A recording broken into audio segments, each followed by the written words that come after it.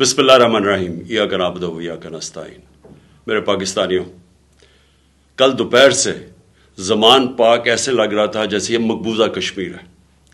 जिस तरह का पुलिस ने हमला किया हमारे लोगों के ऊपर, ये तो यानी इसकी कोई मिसाल नहीं है।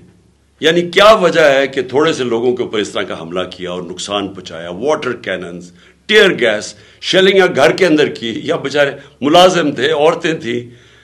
तो इसका कोई समझ नहीं आई कि जब मेरी बेल अठारह तक थी और मैंने सिर्फ़ वो जो, जिसके ऊपर उन्होंने वारंट निकाले हैं, इनको पता था कि मैं क्यों नहीं वो एफ़ एड कचहरी इस्लामाबाद में जा रहा, क्योंकि वहाँ दो दफ़ा दहशत गर्दी के हमले हुए हैं और वहाँ वकला भी और जज भी शहीद हुए हैं।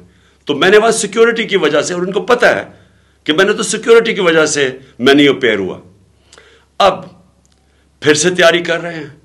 भारी कंटिजेंट पुलिस की तैयार हो रही है रेंजर्स तैयार हो रहे हैं। फिर जिस तरह जमान पाक को फतह करने आना है। मैं सिर्फ़ इंतशार को बचाने के लिए आज मैंने एक अंडरटेकिंग दी, इश्तियाक खान, जो कि लाहौर हाई कोर्ट के प्रेसिडेंट हैं।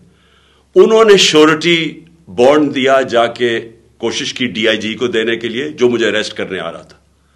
वो, उन्होंने पब्लिक स्टेटमेंट भी दी कि वो डीआईजी जान के नहीं मिला। और जो कोड ऑफ़ क्रिमिनल प्रोसीजर है, उसका जो सेक्शन 76 है, उसके मुताबिक अगर ये श्योरिटी बॉन्ड दे दिया जाता है, जो अरेस्टिंग ऑफिसर है, उसके बाद वो अरेस्ट नहीं कर सकता।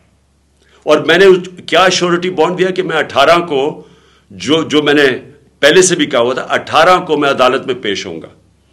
इसके बाद अब इसका कोई जवाब नहीं है अरेस्ट करने का।